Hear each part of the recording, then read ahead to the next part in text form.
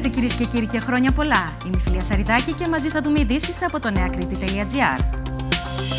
Με ένα φρικτό τροχαίο και σοβαρούς τραυματισμούς σημαδεύτηκαν τα Χριστούγεννα στην Κρήτη. Το τροχαίο σημειώθηκε όταν γιο ταχύ συγκρούστηκε με ταλίκα στα πρώτα χιλιόμετρα του δρόμου Ιεράπετρα Αγίου Νικολάου. Αλλαγές έρχονται σε σταθερά και κινητά αρχής γενομένης από την 1η Ιανουαρίου. Μπείτε στο νεακρήτη.gr για να διαβάσετε τι θα ισχύσει για την διακοπή παροχής υπηρεσιών και τα πάγια. Αϊ Βασίλειδες κατέκλυσαν τα χανιά και οι δρόμοι βάφτηκαν κόκκινοι για το 8ο Σανταράν. Οι συμμετέχοντες έστειλαν το πιο συγκινητικό μήνυμα, στηρίζοντας σωματεία και δομές που προσφέρουν βοήθεια σε παιδιά με καρκίνο και αναπηρίες.